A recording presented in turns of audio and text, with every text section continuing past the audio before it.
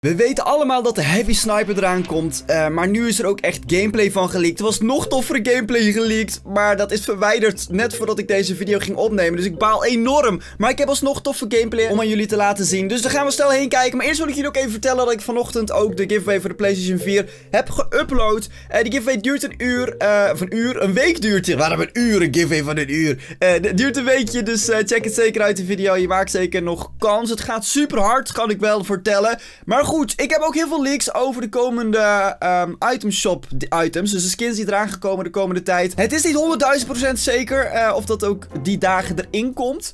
Uh, want uh, een guy die denkt dat dat op een bepaalde dag erin komt, bepaalde skins. Dus we gaan het kijken, jongens. Vandaag is in ieder geval dit in de shop. Hele toffe skins vind ik dit wel. Deze twee. Ik um, zou eerder, denk ik, een beetje de, de, de man. De man vind ik wel heel tof. Ja, de man zou ik wel kopen. Maar nu willen we natuurlijk allemaal weten wanneer die andere nieuwe skins in de shop komen. En ik heb hier als eerste de Magnus. Volgens mij is die al een keer in de shop gekomen, die viking. Maar die komt dus terug. Samen met de Bright Bomber op 15 augustus. Dus over zo'n drie dagen komen dus deze twee skins terug. En rechts zie je ook nog de daily skins en de daily items die terugkomen. Zoals de Hazard uh, skin en de Assault Trooper. Oeh, die is ook wel leuk trouwens. Assault Trooper, best wel basic. Maar ik hou wel van die basic skins. En hebben we ook nog veel meer voor de komende dagen. Dus dan hebben we ook nog uh, uh, 16 augustus. Dan zou dit dus komen. Dus de vorige was 15 augustus. Dit is 16 augustus. Dan zou dus Overtaker skin komen. Heel veel mensen willen die, heb ik gehoord. En de Glider is ook heel speciaal. De Cyclone en nog heel veel andere daily skins die ook wel tof zijn. Zoals de Arctic Assassin. Die vind ik ook wel heel erg sick eruit zien. Ik vind, nogmaals, die, die basic skins, die vind ik wel heel erg tof. Die zijn ook niet zo heel erg duur. 1200. Mwah, mwah, mwah. Valt wel allemaal mee. Even kijken, dan hebben we hier nog voor uh, eh, 17 augustus, de volgende dag alweer, de Wipeout skin. Uh, volgens mij zijn die Wipeout en die Overtaker trouwens tegelijkertijd in de shop. Dus 16 en 17 augustus allebei, of niet? En ik zie ook Highland Warrior in de shop. Uh, best wel duur nog eigenlijk. Uh, en de Snorkel Ops.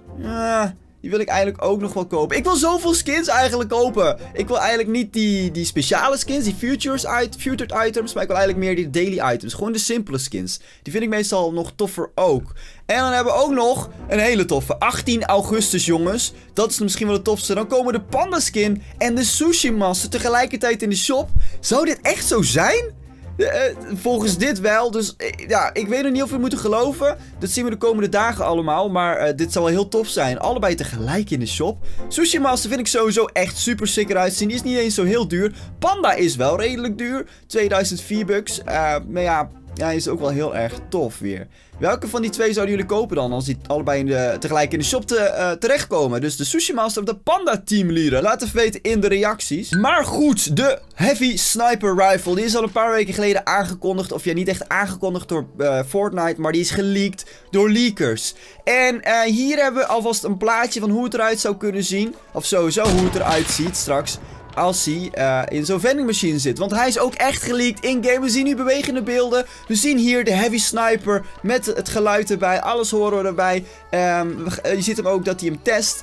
Uh, je schiet door alles heen. Je schiet dingen meestal in één keer kapot. Um, je schiet muren. Uh, in één keer kapot. Je schiet zelfs door muren heen soms. En dit ding kan echt zo ziek veel damage doen. Ik heb gezien dat hij 340, 342 damage doet of zo. Dus je killt mensen easy peasy in één keer met dit dingetje. Uh, hij ziet er ook nog eens tof uit.